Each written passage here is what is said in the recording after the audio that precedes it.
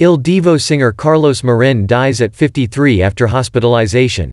There will never be another, Carlos Marin, the baritone member of international pop opera fusion vocal quartet Il Divo, has died, his bandmates announced. He was 53. It is with heavy hearts that we are letting you know that our friend and partner, Carlos Marin, has passed away. Remaining group members David Miller, Sebastien Izambard and Urs Buhler announced Sunday on social media. He will be missed by his friends, family and fans. There will never be another voice or spirit like Carlos. For 17 years the four of us have been on this incredible journey of Il Divo together, and we will miss our dear friend. We hope and pray that his beautiful soul will rest in peace. The official Il Divo Twitter account announced December 10 that remaining shows for the month had been rescheduled, due to illness, and shared Thursday that Marin had been admitted to the hospital, though a cause was not disclosed in either announcement. USA Today has reached out to the group's representatives for more information.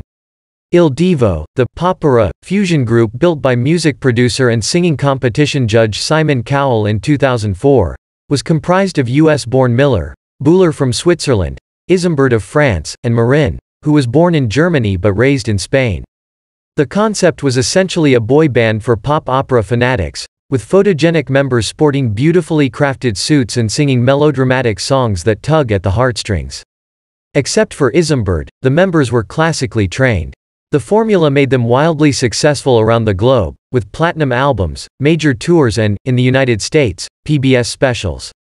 But the group has never achieved the critical respect it deserves. Izambard told the Arizona Republic, part of the USA Today network.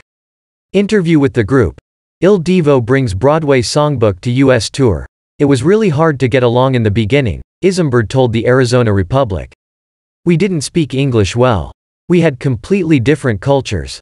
It's like we had been in an arranged marriage and promised to love each other for 10 years. It's hard enough to make marriage work with someone you've chosen. Still, the group figured out how to carry on.